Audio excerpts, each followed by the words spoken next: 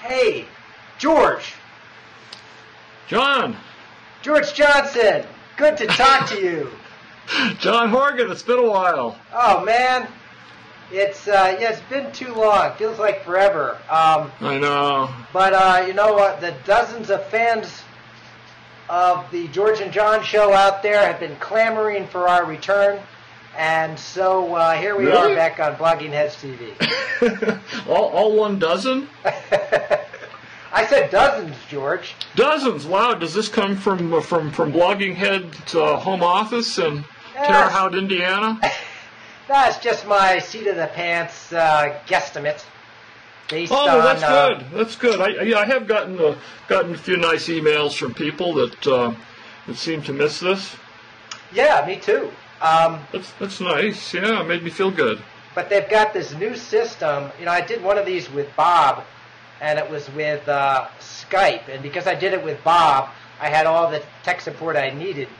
Um, Yeah. But uh, you know, I just felt a little bit of inertia when it came to trying to do one of these on my own with you. And of course, Yeah. you know, there's all this other shit going on. It's this new regime um, that uh, Blogging Heads is under. So. Yeah, now we're back to the old-fashioned technology. Maybe we should explain for for people that the way blogging heads traditionally is done, we can't see each other. Yeah. So we have video cameras pointing at ourselves, and we can see how we look if we want to if we want to look at the screen, and then we talk, and we're actually talking by an old-fashioned landline.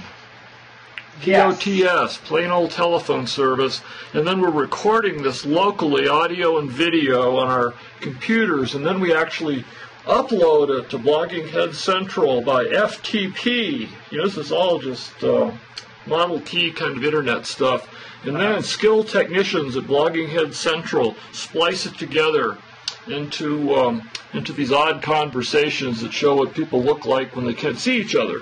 Right. And I guess under the new, the new, the new, the new Bobware, um, it uses Skype, and you're actually recording and seeing each other in real time and all of that.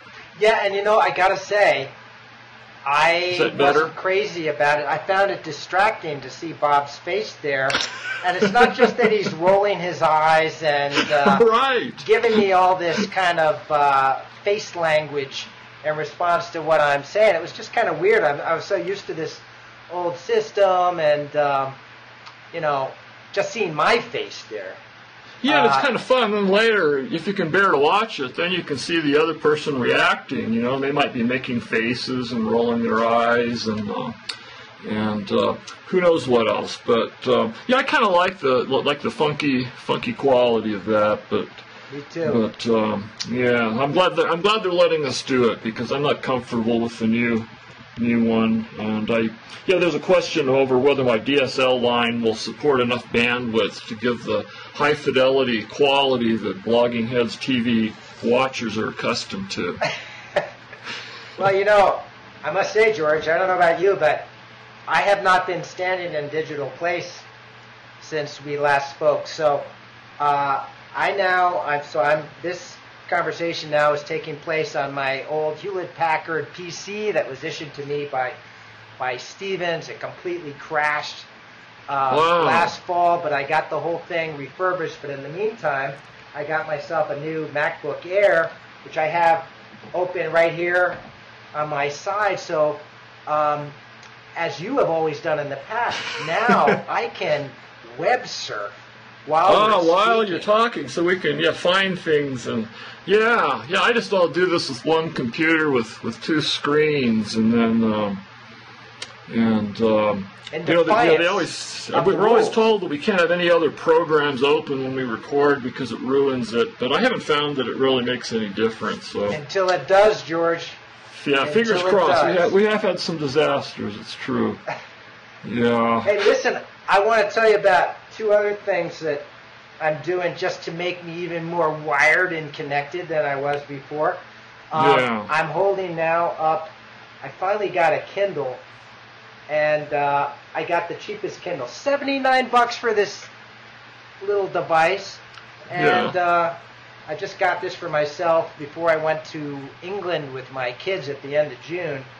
And um, I immediately downloaded uh, a bunch of free fiction onto it, the collected works of Edgar Allan Poe, Wow. and um, and also the collected works works of H.P. Lovecraft. And I- Oh, wow, the old horror writer. yeah, I've really gotten into him. Um, and it turns Wow. out that he is undergoing kind of a cult revival now. Really? So, so I was, uh, you know, I was telling my son Mac that I was, I was, I think we were on the airplane and I was, I was reading and I said to him, you know, you ever heard of this guy H.P. Lovecraft? And he goes, Cthulhu. And I said, what? And he said, Cthulhu. That's where that came from, H.P. Lovecraft, the cult of Cthulhu. So I said, what the hell are you talking about? He goes, look it up, look up the story, Cthulhu. So I, I looked in the table of contents, and um, sure enough, there's a story. It's actually called, let's see, The Call of Cthulhu. And Yeah, um, okay. it's just the weirdest story. It's about this place in New England that is suddenly um, haunted and then uh, destroyed by this gigantic invisible monster. It's it's like this mountain, and and uh, at the very end, these people catch a glimpse of it because they sprinkle some kind of powder over it, and it turns out to have some kind of gigantic octopus head. Yeah. really really gruesome. And apparently there are people now who who worship this thing. You can go onto the internet and find uh, find uh, websites devoted to this guy uh, Cthulhu. Wow. yeah Wow. Well, if, if nothing else, the internet is good at uh, reviving, reviving old cult figures and turning them into new ones, like Lovecraft. listen I, I gotta I, at the risk of immediately boring people before we uh, even start and including you I have to Oh, read there's this, nothing wrong with that. I have to read this little passage Okay. There's, he's got some shit that is just so cool especially This is this is Lovecraft. Yeah, this is Lovecraft, and this is from the Call of Cthulhu. Um, and uh, it's um, what I what I love about him is usually, you know, if he's got monsters, it's like the old problem with monsters. Once he starts to really show you the monster, it just seems kind of silly and dumb. Um, Yeah. But when he's just building the air of uh, mystery and suspense, it's really creepy in a cool way. And um, Mm. it's all this kind of uh, pseudo-scientific mumbo jumbo too, which I love. So Yeah. here's from the introduction to Cthulhu, and this is relevant to some of the science stories that we're going to be talking about.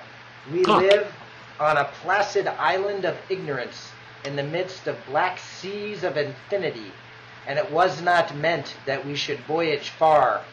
The sciences, each straining in its own direction, have hitherto harmed us little. But someday the piecing together of dissociated knowledge will open up such terrifying vistas of reality and of our own frightful position therein that we shall either go mad from the revelation or flee from the deadly light into the peace and safety of a new dark age. Wow. Cool, huh? That's beautiful. yeah, I think, and I and very prescient. I think When, when was this written, more or less? this was uh, written exactly in 1921.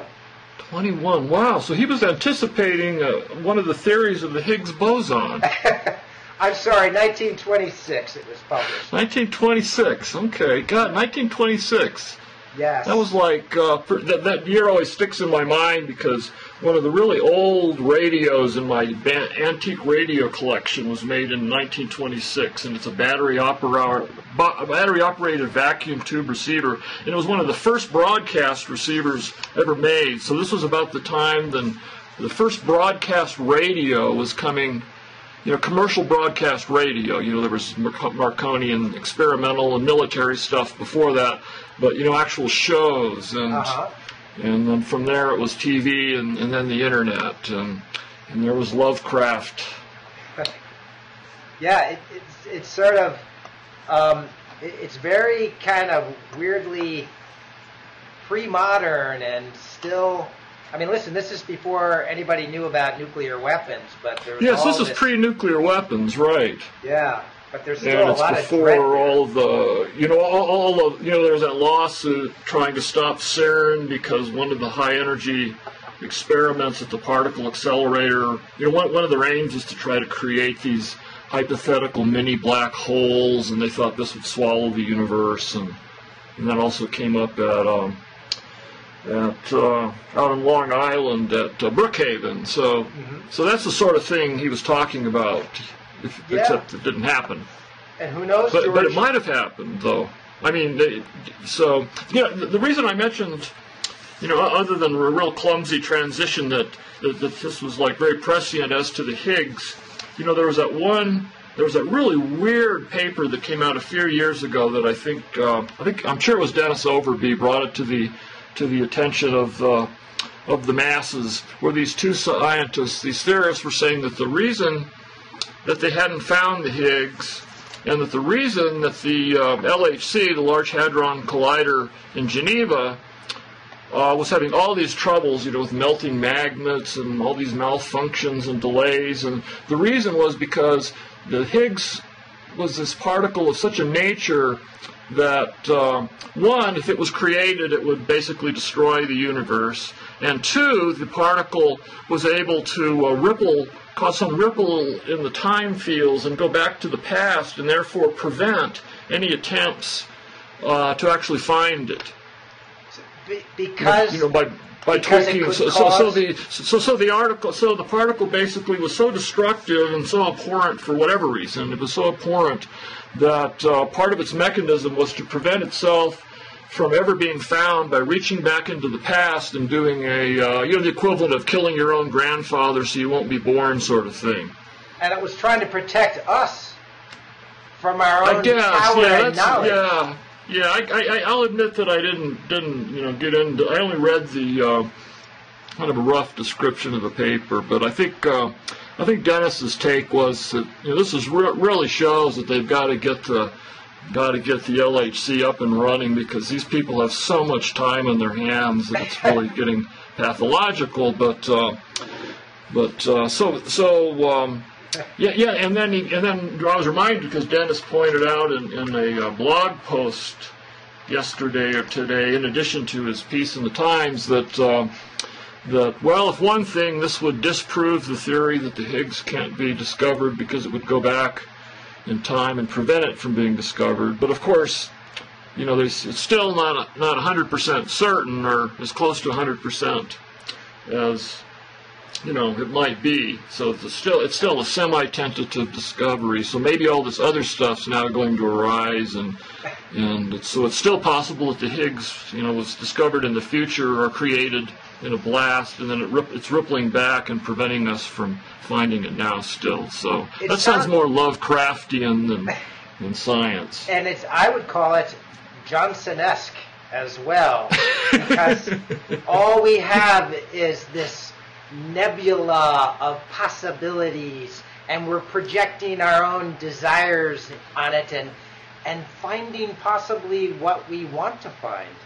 Well, yeah, seeing the yeah yeah looking for patterns and seeing the shadows of our own brains. Yeah. That was my my old metaphor from from long ago, but uh, That's right, because this is just the Higgs-like particle. I mean, it's The Higgs-like or particle what? still. It's, it's like it's like uh, you know a, a movie that. Uh, in fact, this is true of Prometheus, this big blockbuster. It's like a prequel to uh, the Alien series that I saw recently, and it. Oh, and, yeah. You know, it's this big cool movie with really crazy aliens and and uh, groovy special effects. This fantastical uh, landscape and another galaxy or star system or whatever.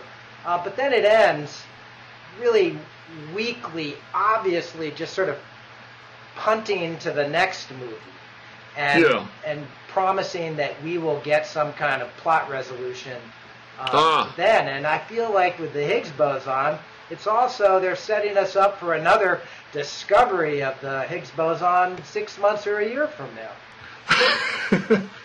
well, it's not not not clinched yet, but uh, yeah, what? Yeah, I mean, they're basically what there was that line that the guy, the director general of CERN, said at a press conference, like in lay language, I think we got it, and then everyone one applauded, but. Um, I guess the catch is that they have to show that this has the predicted characteristics of the Higgs that's predicted by the standard model. You know that it's spin zero uh, and is indeed a, indeed a um, boson, and that it's uh, you know because it's spin zero and and uh, other aspects that were predicted. And I, I, mean it's it's it's within the range of mass that's uh, that's plausible and that's ruled out by other you know you know, it's, it's within this narrowing window of mass that seems likely, and but then there's these other characteristics, I guess, before they can really nail it.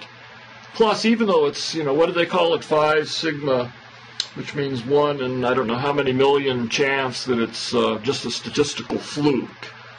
So yeah. that's considered really, you know, really, really good odds that it's not, but it's still possible that they would run the, the experiment however many million times again and not find it, and then it is a statistical fluke. You know, it's one of those things where ultimately you settle for this very, very high, high probability. It was fascinating to read about. You know, so basically they can't detect the Higgs directly. They can. Their theory tells them that the Higgs will break down into certain particles. You know, and this going from the Higgs to these daughter particles, each each different way it might do that is called a channel. So there's more than one channels through which the Higgs decays. So they find decay particles in a pattern, you know, type of particles, energies, etc., that is one of the channels that the Higgs can decay into, but then other things can decay into that channel too, and all with you know various probabilities and and um, wow, yeah. just listen, George. Are you still turned on by this kind of stuff? Oh, yeah, yeah. I mean, I. The, the thing that really got me, yeah, I mean, I, I mean, I've been sort of blanking it out the last, you know, year or so. I've just been superficially following the stories because I figured, well, they're going to keep saying they almost get it, but this one, you know, become, you know, comes close enough that I started tuning in again and going back and reminding myself of all the the hand waving popular science explanations of the Higgs that we've all indulged in over the years. You know how it's how it's the Higgs field and it's like a bunch of molasses and the particles get their mass from the Higgs because you know the electron is 1700 times less massive than the proton. So the, the electron can move through the molasses more easier than the proton, and this explains why the particles have their different masses. Mm-hmm. But of course it doesn't because it's just a completely circular story because you know well you know why does the proton move through it more slowly and you know and then when you get into the theory you know the the field theory apparently this stuff all becomes clear but then we're sort of left as people who have to translate this into words to come up with these very imprecise metaphors so that you sort of get the illusion of understanding. Yeah, I and, well, I I don't know what you know. Uh, I, am sure I've told you before. One of the reasons I wanted to become a science writer was because I was so turned on by by uh, popular books about physics in the late 70s. And, yeah, oh, it's wonderful and, uh, books. early 80s, even some that seem very flaky in uh, retrospect, like the the Tao of Physics and so forth. Um, but uh, I remember also just reading Brief History of Time. This is after I became a science writer, but really yeah. being turned on by you know the whole quest for a unified theory that could oh yeah that could wrap up all the forces of nature in one tidy package. So, just as a little background to, to what the Higgs is about, it's it's a really it's a really big missing piece of what's called the standard model of particle physics, right. which explains um, electromagnetism and the weak force, which now we know are are two aspects of one uh, unified force called the electroweak force and uh, the strong nuclear force, which uh, is mediated by these uh, these particles called uh, quarks. So this ex- explains yeah. the micro realm. Quarks and gluons.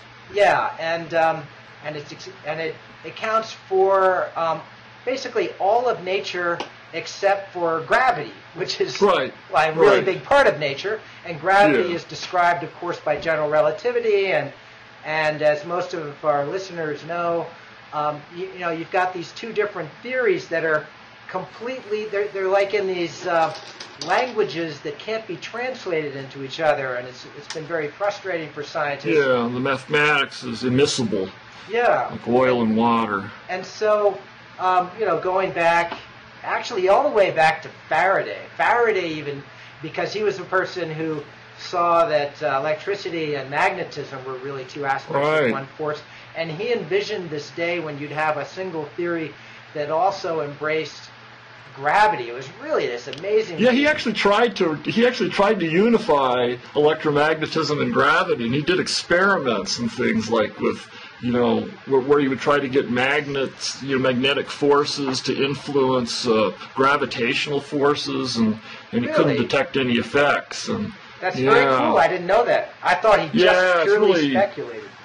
Yeah, I, I, I, forget the details. I, I, I did a chapter on Faraday and 10 most beautiful experiments, and then toward the end I showed how he, um, he you know, this led him to want to, you, you know, he, he really got into the whole spirit of unification that became the intellectual adventure of the 20 and 21st century so far. And, Yeah, well, it's really exciting stuff, you know. And I remember reading, you, you know, you know that great book by Bob, Bob Crease and and, and uh, Charles Mann, Robert Crease and Charles Mann. It's called The Second Creation, yes. and it's like this wonderful history of um, of the whole unification drive. And I remember reading that and just be, you know, blown away. Just first by the exci- the intellectual excitement, and also just by the artfulness in which they they um, explain the science and and and not you know not you know it's it's definitely written at a more level of detail than a lot of these things are. But I was actually just going back to that this morning and trying to remind myself of what they'd written about the Higgs and trying to find some new way to explain it, except for the molasses thing or the the thing of the the paparazzi floating around the most famous, hovering around the most famous people at the party, and this and the paparazzi is like uh, the Higgs boson giving them mass, and just oh god, all of this stuff, and and then you start thinking like, well, mass, you know, so, but electrons and protons, okay, proton's 1700 times heavier than the electron, but both the proton and the electron are point particles, they have no dimension. So it's like mass isn't really the stuff that's inside the particle in a way that there's mass inside, you know, a rock, it seems like, and it's more like the mass is a network principle or a system principle of these particles interacting with other particles through a field. Mm-hmm. And That's so, and then of course, actually. of course, the mass is contained in the energy too by E equals mc squared. It just makes these things always make me realize when I start drilling down and thinking, you know, how to explain this with metaphors. There's a certain level that you just kind of have to stop, and, and you get into the hand waving and and the illusion of understanding. And and that is But- even more true of uh, and we've talked about this before of um, of uh, some of the entities postulated by uh, unified theories, especially by strings and membranes and things like that. I think Yeah. you and I have talked about the fact that um, that physicists Oh, yeah. have, at least in my case, have warned me that you can't think about, for example, a superstring as a thing, as a, not as really, like a little yeah. particle. If you had a powerful enough microscope, it's something that you could look at, which actually, to a certain extent, is still true even of. Um, uh, certainly of electrons and protons and things like that, and even to a certain Yeah. extent of, uh, of quarks, although then it's all getting more uh, metaphysical. But then when you get down to the Yeah. level of strings, you're talking about concepts that are even more fundamental than, as I understand it, matter and energy and space and time. And the only way Yeah. to understand them is purely in terms of their mathematics, which are accessible only to a very few people. So, so, so it's not like if we had a really super microscope and kept drilling down, down, down, down, we'd start seeing, you know, you know, cor- I mean, um, uh, strings and branes, and of course they're interesting because they have dimensional extent, unlike the particles and field theory. But yeah, you couldn't see them. But yeah, that even goes to, I mean, it's all you know, so much embedded in the mathematics. I mean, you know, the difference between a proton and a neutron, they have almost exactly the same mass, but not quite. Another one of those weird, weird uglinesses that the Higgses hopefully will help um, explain. And and one of them, of course, has neutral charge, the neutron, and the proton has positive charge, almost but not exactly the same mass.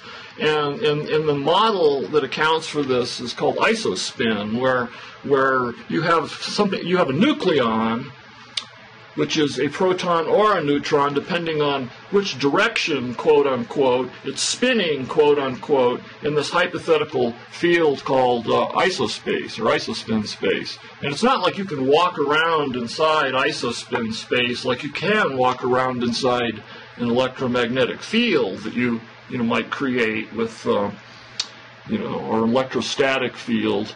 Um, so it's much more much more abstract and mathematical. And Yeah. um, well, remember yeah. this. These are all these are all quantum phenomena. So um, yeah, and- that- yeah, yeah. Not, not to speak of that. Yes. So, yeah. So that you know, by sort of by definition, they they don't really make any sense in terms of uh, uh, of um, concepts that we're familiar with in in this world that that we live in, where you know there are there are objects that that can be pushed and pulled by various uh, uh, forces. And remember, the mathematics themselves that describe quantum phenomena. You've got imaginary numbers, you know, the numbers based on Right. on uh, the square root of negative numbers. I mean, what the fuck is that? It Yeah, which is another way of having a rotation and uh, a rotation, and and um, yeah, and it's and, and then again, you know, I mean, why should the stuff down on this basic level be, you know, just like the marbles and rocks and things that we have up at this crude macro level? So it's just always just kind of coming up with some. Yeah, and then no matter how weird it is, if it, if it can be used to make predictions, measurable predictions, you know, then that kind of shows you you're on the right track. And listen, This George, is at least one way to do it. let's you know I I, I, want to point out that I I think there is a temptation for I don't know postmodern philosophers who are look skeptically critically at science to think that there is uh, there is an awful lot of projection going on with uh, with the detection of something like um, the Higgs. But uh, as we've discussed before, there are some there are some predicted entities that, that popped very naturally out of uh, particle physics theories that never were found, in spite Yeah. of um, in spite of lots of effort to find That's, that's them. Like- right. Yeah, not, it's not like everything that they. Yeah, that's true.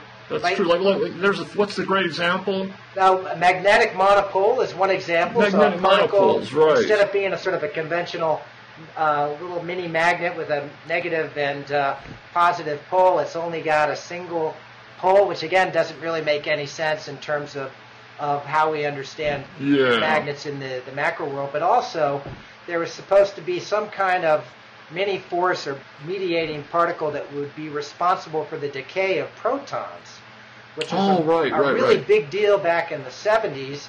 And um, that just, and, and there were all these kind of unified theories, um, unified theories that would uh, include um, strong nuclear force plus the electro weak force. That's Oh called yeah, grand like the unified theory. supersymmetry forces and the Yeah, technicolor forces and and yeah, no, you're right because I mean you could say that well, you know, the theorists come up with these completely abstract things that only exist in the mathematics. They do these experiments and then they interpret the experiments in, in, in such a way, no matter how much convolution and, and ancillary hypotheses are required, and they can come up with something then that, that shows that this, this instantaneously disappearing event in a particle accelerator was indeed this predicted particle. But yeah, you're right that all these things that have been predicted, you know, a lot of them haven't been found. So Right. it's obviously, yeah, so, so that's not a.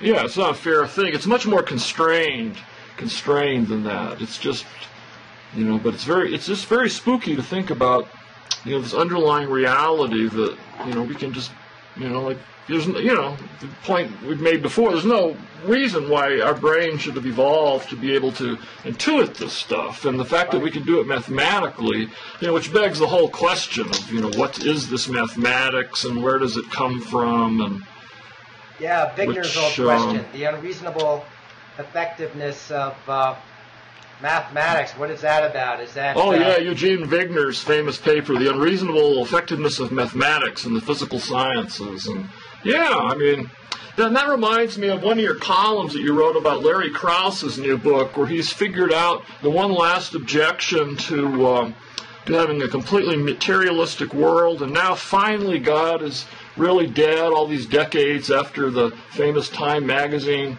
cover, and Larry's figured it all out. He showed how you can get something from nothing. Yeah, and I was very- glad very- to see that it's that you had the same objections to this as I did when I first read about it, and then read that you know real, really cutting review in the New York Times book review by David Alberts. Right. uh, Who, by the way, so Krauss dismissed him, dismissed Albert as a know-nothing philosopher. Yeah, right. And, yeah, uh, what, what a of cheap course- way out. Yeah, and Albert has a PhD in physics himself, and is a very distinguished uh, uh, theorist of quantum mechanics. That's his uh, his specialty. So he knows what Right. the fuck he's talking about. I and, know. And uh, the, you know, and he raised the really obvious question to um, to what uh, Krauss had had uh, offered as a kind of uh, uh, theory of uh, of creation. Krauss was saying that creation has something to do with these quantum effects, which can kind of spit particles up out of the uh, void. Yeah. So, so nothing nothing was like a not, nothing was like a zero point energy field and something like that, and then this field, you know, through quantum mechanics can produce something, you know, with uh, mass and energy, quantum mechanically, and this was supposed to be something out of nothing. Is that the Yeah, gist and, of it? and it's you know it's I've heard this effect. You know, it's basically It's old stuff. It's, yeah. yeah, it's, ba- I mean, it goes back. I remember hearing this uh, in the 1980s, and I'm sure it Oh yeah, back and, and then there was a than that. related thing with uh, with uh, with, with um, um, Hawking and uh, Hawking and uh, Jim. Uh, oh, why am I blinking his name? This other really good quantum. Yeah, Jim Hartle. Yeah, Right. Hartle, the Hartle Hawking thing, where with the Big Bang, where how the Big Bang comes out out of nothing with the uh, uh, what was it called? The no No boundary theorem. the no boundary theorem, right? And with all this stuff, you know, all these bootstrapping kind of ideas, they still, in the case of Krauss, you know, what Krauss was talking about, which is, as you say, old stuff. It's um, you, you, you're first you're, suppre- you're presupposing the existence of this thing called quantum field theory, Right. and I just happened to see this book on my desk. It's really beautiful on my shelf. It's really beautifully illustrated on the cover book called Quantum Field Theory in a Nutshell by Anthony Zee Uh huh. Who's this really great guy, physicist out at uh, I think he's at UC Santa Barbara. So this this is in a nutshell quantum field theory, and uh, I don't know if this is going to work, but I'll flip through it upside down, and or, you know, here's a typical page, you know, with all these. Uh, partial differential equations, and, and and this goes on and on, you know, page after page of this, you know, simple nutshell explanation of quantum field theory. The book is uh, 400 and you know, 500 pages long, and you know, all of this is like presupposed in um, in supposedly getting something out of nothing. So where does all that stuff come from? Where does quantum field theory come from? And on a deeper level, where does mathematics itself come from? Right. I mean, it would have to be created along with the Big Bang, It's, but the, it's the Big Bang's usually talked about, so the mathematics pre-exists the Big Bang. It's turtles all the way down. There's turtles all the way down. Yep. You know what I found fascinating about this book by Krauss is that it had a um, a uh, I forget if it was uh, yeah an afterword by Richard Dawkins. Now I know Dawkins has gotten very enamored of particle physics and cosmology lately because he's so desperate to find somebody that will just to find some idea that will just make the creationists shut up. And of course, they're not going to shut up. No. And, and the problem is that Dawkins, and you know, I think we were even talking about it at that Templeton uh, Fellowship back in uh, 2005. Dawkins uh, is just kind of trusting some of these uh, cosmological smarty pants like uh, Larry Krauss. so in his afterward, he actually compares. He says that in the future we may look back on this book by Lawrence Krauss as the equivalent of Darwin's On the Origin of Species. yes, yes. Oh God, I groaned, and that's quoted on the jacket. Uh, Here's his exact quote: "If on oh. the origin of species was biology's deadliest deadliest blow to supernaturalism, we may come to see a universe from nothing as the equivalent from cosmology." I mean, oh my God, I was just you know Dawkins is so smart, but but yeah, he's just become you know, you have to recognize the limits of science in certain areas, yeah. or it discredits science if you say it can explain yeah. things even when clearly it's yeah. not explaining those things. Yeah, there are fundamental mysteries that you just, you know, beings in the universe cannot step outside the universe because there's nothing outside the universe, see it from this whole godlike perspective and explain everything. Right. And uh, you can explain huge amounts and you can say that this is all there is, but there's nothing to keep you from you know, believing that there's something outside of that that science can't prove. And, you know, it doesn't get you anywhere as far as I can say, so I'm not very sympathetic with that stuff, and I'm pretty much a hardcore materialist agnostic, and yet, you know, there's limits to where what science cannot address and answer, and then beyond that, you know, it's a free for all. You can believe whatever you want to believe. You know, I mean, where I have problems is why people decide that it's uh, Roman Catholicism, Roman Catholicism instead of one of the varieties of Buddhism or Hopi religion. I mean, to me, it's all just kind of you know historical accidents and culture, but it's this drive that people have to explain beyond what uh, our limited brains and bodies could explain. Yes. So you can't just say that, that you know everything is accounted for now, and yeah, you're right. It just no, undermines science. It's a paradox that I, you know, I've been thinking of writing a column about this, although I guess I've been kind of touching on it in various ways for a long time.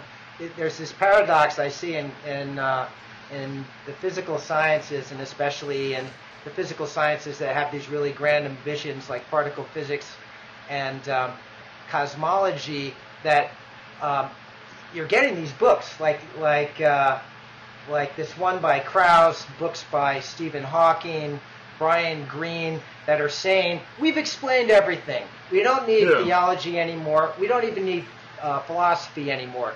Um, yeah. Stephen Hawking and Krauss and some other physicists have been saying really nasty things about philosophers lately. And listen, some philosophers deserve it, but then there are other philosophers who are who are saying really yeah. smart, sensible things again about the limits of science. But what's weird is that the physical sciences is actually in a state of crisis right now. I right. And so right. I see this, and this is my spiel and a piece I just wrote for Scientific American that will sound all too familiar to people who, even if going back to my book, The End of Science, who've read stuff of mine, that um, physics is reaching its limits, and especially according to some of the benchmarks that it has set for itself. Uh, for example, the unified theory and yeah.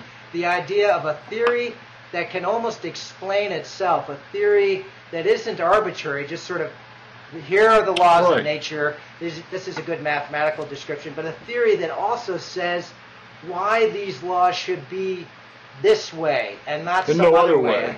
A theory yeah. that reduces this terrible arbitrariness that we feel when we look at the universe and when we sort of ponder our our own yeah. existence and yeah and, why is the proton slightly different in mass from the neutron yeah and why you know why does gravity have uh, a force that was was just ideal for the formation of gravities and then solar systems mm. and planets like our own. And right, chemistry stars. seemed to also be strangely appropriate for the emergence of some kind of, of, of sentient creatures like us. So, and science doesn't have a clue how to answer those questions right now. And I think it's prob it's probable, not just possible, that it never will answer those really Yeah. cosmic questions. And and I think a lot of scientists recognize this, and they're they're sort of flailing around and and uh, engaging in all this hubris and arrogance and and claiming more than than they're really capable of. That's my take, George. wow. Um, and yeah, my, my my, my my take on your take is that uh, well, I mean, interesting historically. Of course, the whole drive. I mean, superstring theory. You know, when um, when you know people like you know you know John Schwarz and some of the original people first started talking about about superstrings was just this really fringy fringy thing, and then through some mathematical legerdemain it really looked like this could like converge on a single one theory and that, and that would indeed explain why we have a universe like this and not like that. Like why there are three families of, of, of particles. I mean or three three families of uh, of leptons.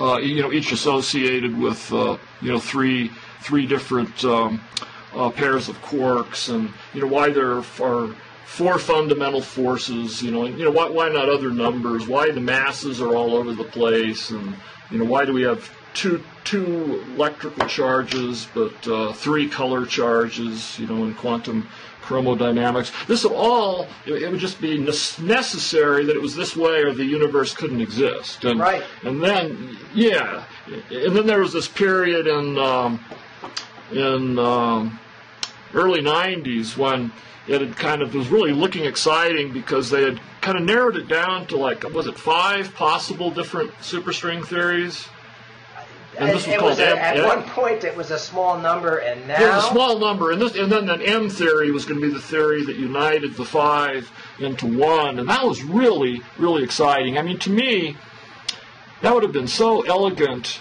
that even if they couldn't have um, come up with a way to test, you know, physical consequences of the model, you know, the standard thing where it would take a particle accelerator the size of uh, of the Milky Way or something to produce the energies to actually produce the particles predicted by the theories, the strings, and then later the branes.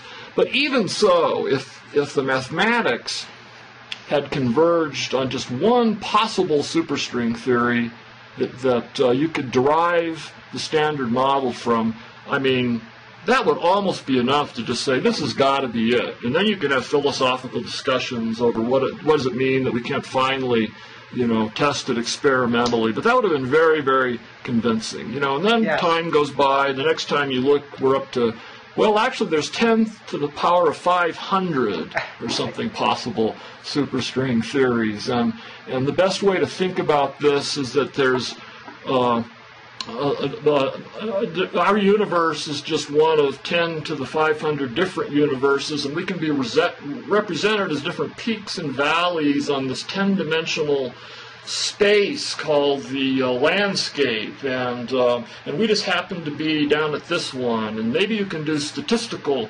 analyses to show why why it's more likely for us to be in this little part of this this 10-dimensional hyperspace to be in one over here where we have a completely different universe. And then you can do anthropic hand waving to say that it had to be this one because otherwise we wouldn't be here to think about it because there wouldn't be stars and we wouldn't have carbon chemistry and all of that. And um, you know, you can do that, and I think it's great to, you know, I've said it before, I think it's wonderful that grown men and women are paid good money to do this. It's a sign of civilization, and it's an intellectual quest.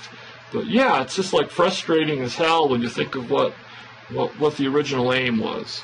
Yeah, I you know I talked to Steven Weinberg, the great Nobel laureate, who actually is one of the people who helped to uh, come up with electroweak theory. Electroweak, yes. And the- Salam Weinberg.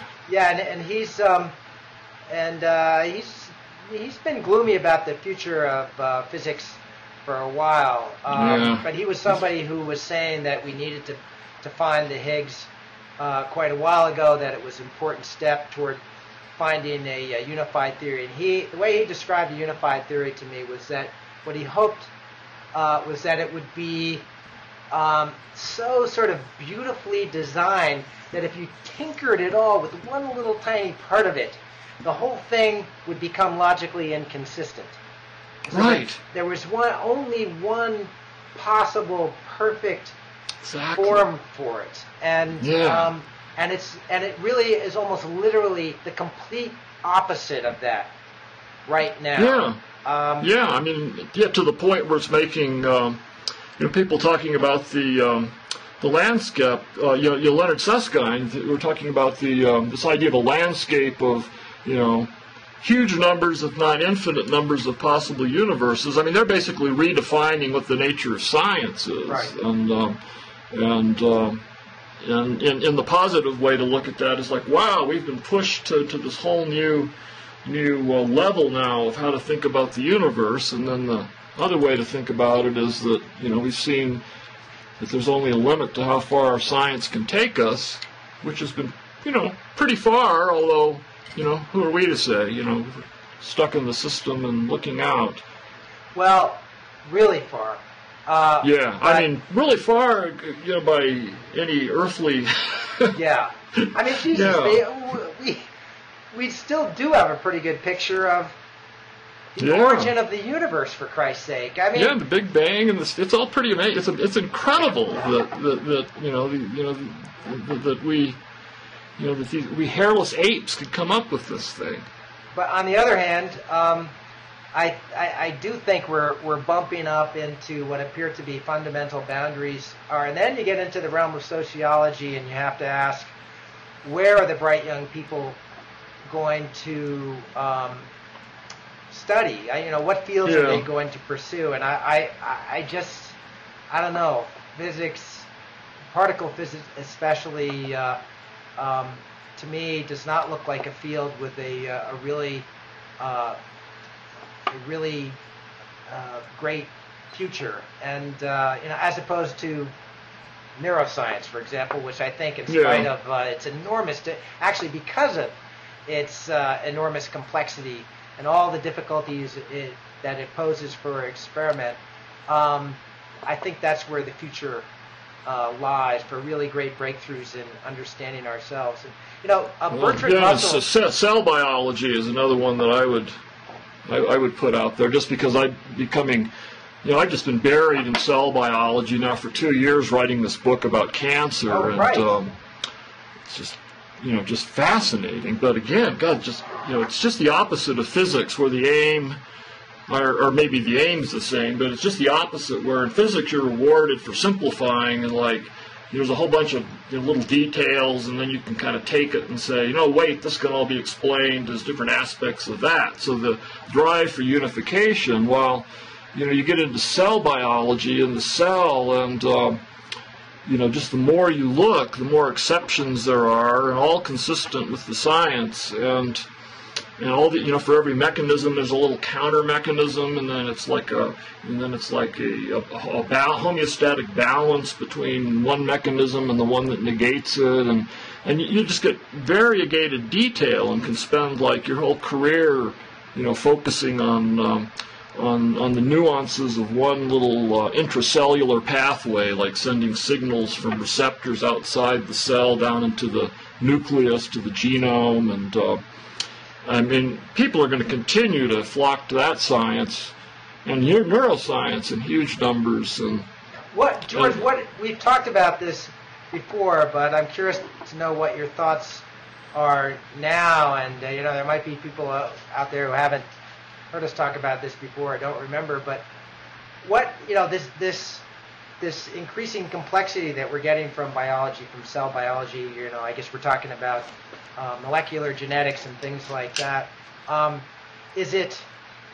Do people think that this will yield eventually to clarity? You know, so uh, one of the analogies that I make would be to the situation in particle physics in the 1950s when you just had all these strange particles popping out of particle accelerators and nobody knew how to make sense Right. of it all. And then, you know, Gell-Mann and the other guy nobody remembers anymore uh, came up with um, with the idea of quarks, and that suddenly imposed this order on what had been total uh, Right. chaos. Yeah, the peri- like a periodic table of the elements. Yeah. With, uh, the eightfold way, and yeah. So with cell, well, I mean, what I'm really getting into specifically is cancer biology of the cell, and and and a big, you know, the equivalent of a big unification with that came um, in 19, no, no, no, in 2000, the year 2000. Um, yeah, 2000 when uh, when Robert Weinberg and Douglas Hanahan wrote a paper called "The Hallmarks of Cancer," and they basically took this huge amount of um, information that you know had been learned in the laboratories in the last decade about you know how cancer works, you know, with the oncogenes and tumor suppressor genes and all of these other mechanisms, and they came up with six characteristics that they argued you know, that was pointing toward six characteristics a cancer cell had to have in order to, you know, become cancerous through this uh, random random process of um, evolution that a cancer cell goes through, and. I mean, that's probably kind of the closest thing. And then they anticipated in this paper that within 20 years, that um, the, the science of cancer, the, the cancer cell would become um, as as, as as predictable as as electronic circuits are now. That you would be able to, you know, that the wiring diagram of the cell would be would be pretty much in place. And they did a 10-year follow-up on that, which actually came it was actually came out in the 11th year. Um, yeah, last year called um, uh, the hallmarks of cancer: the next generation, alluding to alluding to um, the Star Trek stuff. And then they were saying they basically made a you know very strong case that their basic hallmarks were still there, but there were some emerging hallmarks that still needed to be considered. But you know, so there's a basic paradigm that's, that's still that's still in place, and but it's not you know it's never going to be like the standard model because Right. you know anything to do with life and biology, there's always going to be quirky little things that can happen, you know, through some other you know, through something that's outside of the model, but is not inconsistent as an exception, you know. Right. Yeah. Um, we're um, we're we're made through trial and error and tinkering, rather than through some logical engineering process. Yeah, bricolage. Yes, bricolage. That's, one thing that's really struck me getting into this. Like you remember, um, and you know, you're learning about you know the whole you know Watson and Crick and Francis Crick standard dogma, where genetic information goes from uh, DNA to RNA to protein, and and just this whole nice uh, Lego-like picture of the um, of the genome and the you know the three nucleic. Uh, uh, I mean the uh, you, know, you know the gene with all of its nucleic acids, you know, coding uh, coding for for a certain for a certain protein, which can act as a you know a signal or a scaffolding kind of thing, and then the whole thing where like three um, like a triplet of uh, three amino acids uh, stands for one. um I mean, trio three nucleic acids, the letters, the A, T, C, and G in the um, genome stand for an amino acid, one of the 20 some building blocks of the proteins, and these little adapters, so you have the three, you know, the three uh, nucleic acids stick on here, and then this creates a shape, and the and the amino acid protein block sticks on there, and then they're all snapped together by the, uh, you know, with the ribosomes, and and you you know, and all this is still true, but it's just you know so much more complicated now. So like you know, the gene doesn't just exist in a discrete place on the genome. You know, part of the gene's here, and then there's all this junk, and then some of it's over there, and some's over here, and the whole thing gets peeled off, and then the junk gets edited out, and then you get the get the messenger RNA, and then the messenger RNA can actually, you know, things can happen to um, to change that before it's actually transcribed into protein, and and uh, and I was just reading about all this, and I was thinking, wow.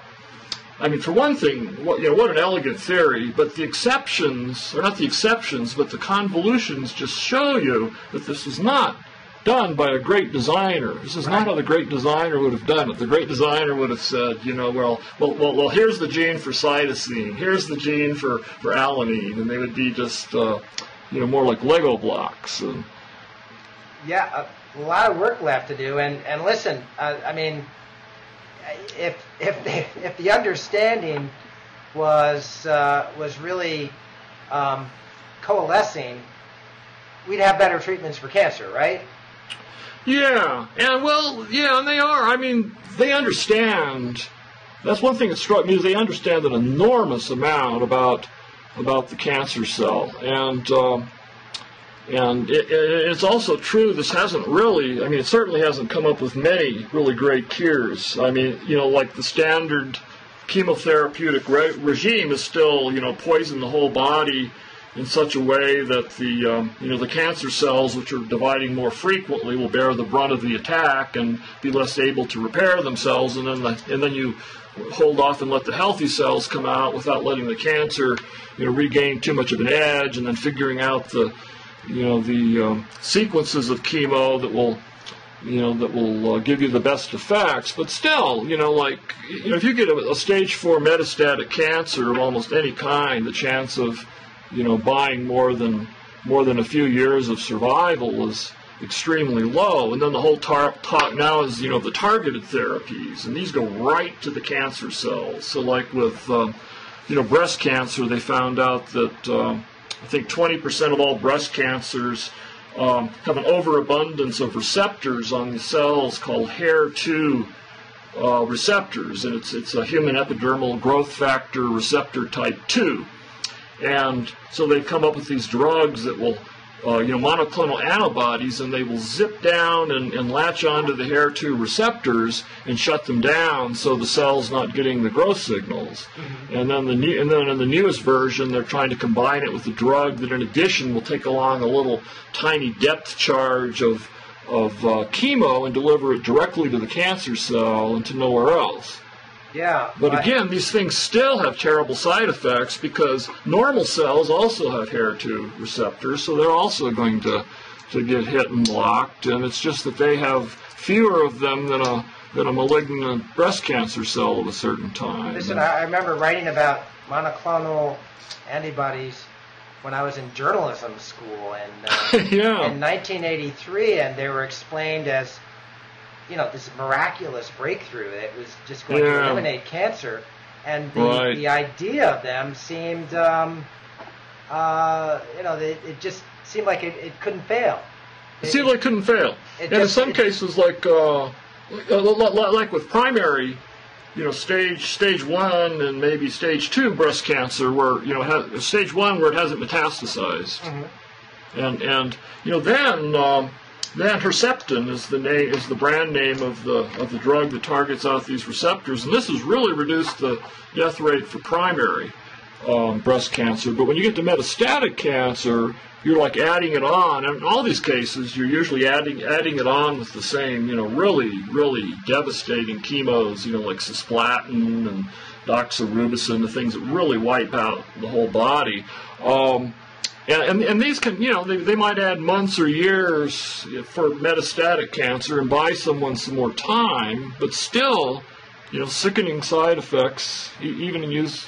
And so they're still moving past that. But, yeah. you know, other things like cancers, like, you know, blood cancers, they've had much more more luck with. And, and uh, cancers that seem to involve fewer mutations to the cell, which seems to be true with some leukemias, I think. And um, and you know, like Gleevec is a targeted um, a targeted um, drug for a certain kind of uh, leukemia, and it's been you know it's turned what used to be you know you know fatal you know basically a death sentence diagnosis into one that you know you know pe- people basically can you know get you know they can live you know, not indefinitely, but you know what I mean. They, right. it, it, it, comes as close as you could say to curing a cancer, and yet if you stop taking Gleevec, the cancer comes back. So right. it's like a chronic therapy that you have to take to to uh, hold it in bay. So held it at bay. So you know, like step by step, they're getting closer. But as with everything, it just it's taking so much time.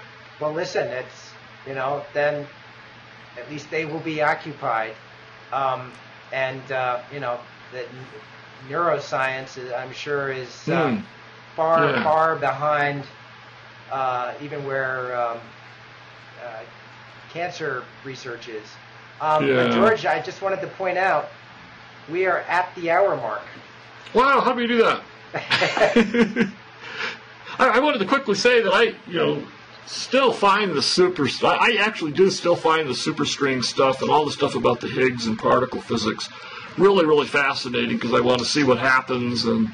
And I really love the idea. There was a great quote from, I think it was Maria Spiropulu, um, I think in Dennis's story, or one of them, and where she was saying the best thing would be if now that we think we have a Higgs-like thing, that we find that it's not exactly like the Higgs predicted in the standard model, and that this will open up some whole new new physics, you know, beyond the standard model, and maybe you know take things in a completely different direction. So, you know, there's always that possibility, and the direction could be away from from having to posit the existence of of um, particles that are, you know, essentially untestable. That's so, right. They need to yeah. find something that wasn't predicted. Listen, the acceleration Yeah. of the expansion of the universe is still, I think, the by far the most dramatic discovery that's emerged, certainly from the physical sciences in, I don't know, my whole lifetime.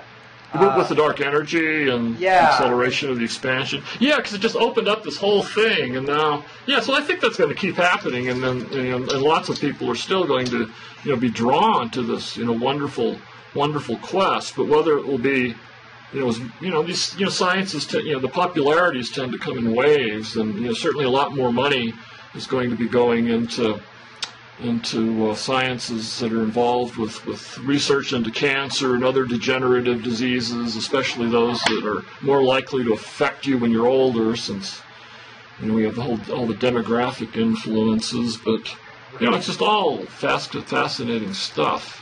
Yep.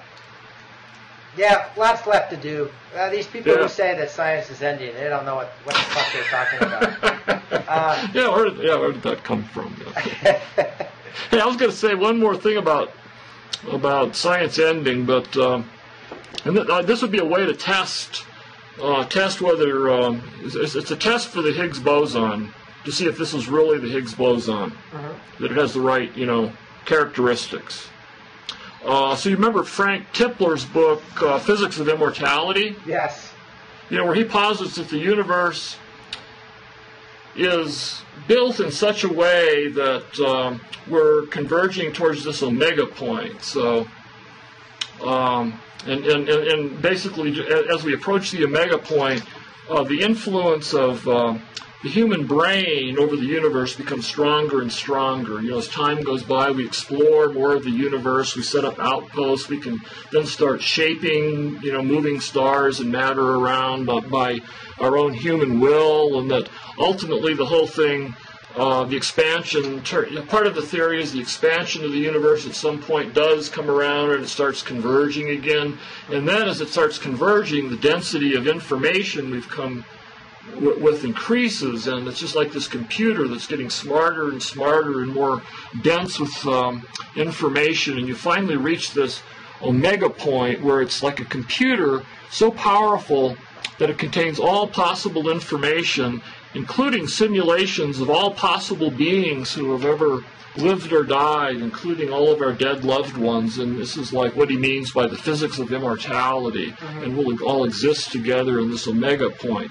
Well, it turns out that for this to be true, apparently the Higgs boson has to have. Um, have a certain, I think, specific mass, not just within a range and other parameters. So if it doesn't have this, it'll disprove immortality. So, another way of looking at it is, you know, obviously immortality is true because, you know, people believe this, and then you can say if you believe that there's immortality, then the Higgs, the Higgs boson has to have certain certain constraints.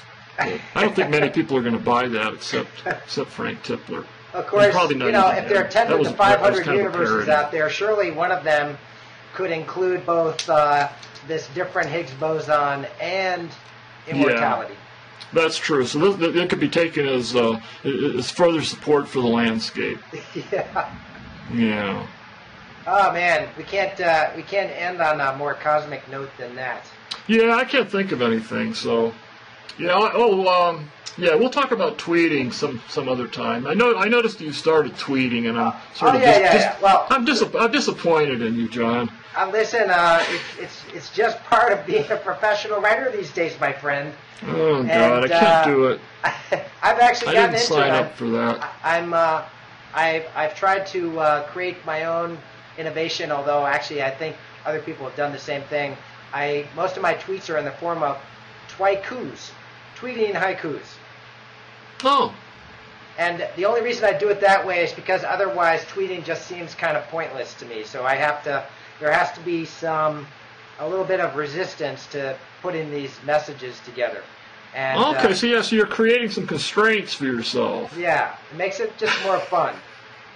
Well, I'll have to go back and look, but yeah, let's do a conversation sometime and discuss all this new stuff here, because it's going to be hitting me soon. My book, I have a, I finished my manuscript. I'm down to doing, you know, nips and tucks and sending it to the publisher in in uh, um, September for publication next year, and and I know I'm going to have to start thinking about whether I'm shooting myself in the foot if I don't start, you know, inanely twittering like a, like a little bird. Well, listen, George, I- as I, I not that, think not, I not that you're to you, inanely twittering. I mean, if you're doing haiku, that's, uh, you know. No, well, George, I know if you tweet, it's going to be elegant and uh, and beautiful and and fascinating. Um, and there are people who have who have uh, gotten in contact with me who say, "Yeah, yeah, John Horgan tweeting, but can you get George to tweet?" Hmm. So uh, they're waiting for you, George, Oh, yeah, I'm sure. in the So, well, so how does this work? Now, are you now do you tweet this the fact that we've done this, or, or have you been tweeting throughout? No, I'm not. I'm not. You're not that close bad, to yeah. being that advanced. Uh, but I will probably tweet about this. I'll I'll do a twaiku on you and uh, on you and me. Oh, okay. And then I can I have gotten to the point where when we do these things, I I post them on Facebook. Yeah, Facebook is so passe, man. Is that the sort of the same thing, but but tweeting is just more more widespread, or Uh, yeah, yeah. I mean, for journalists, it seems like tweeting. Listen, Bob Wright helped. He was one of the people who convinced me that I should tweet. Um, Uh. he just said for journalists, it's it's actually a useful tool. I'm not convinced of that. yeah, Uh, but, disappoints um, me like and I said, Bob. I'm still kind of in the period where I think it's fun. Whether or not I keep going, I don't know. I might run out of gas eventually.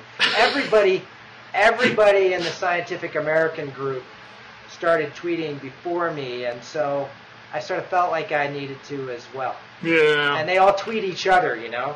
Ugh, That's God. how it works. I just feel like it just creates so much more noise that any single tweet is just, uh, you know, like just such a drop in the ocean that it can't make very much difference. But I don't know. George, I may. I have to think there is about no it. but- there is no signal anymore, George. It's all noise. yeah. So get with the program. Yeah, God, I don't even have an e-reader. Well, um, yeah, let's do a whole thing on this. Okay, sounds how, good. how I went from go. Yeah, well, part of the one of the themes will be how I went from being pride myself on being the cutting edge of the internet for all these years, and now I seem to, you know, I'm let, letting it go behind me and becoming a luddite. Yeah, I know, but you got to at least start tweeting before everybody gets sick of tweeting. I mean, because that would be really sad. Oh, but I'm kind of waiting for that, and then I'll see what the next big thing is. Yeah, yeah, it'll be something involving like flashing lights or something. Okay, John. All right, man. On It's that been, note. it's been great. Uh, Okay. Yeah, so whenever you want to do it again, you know where to find me. Okay, All right, sounds good. Okay, bye.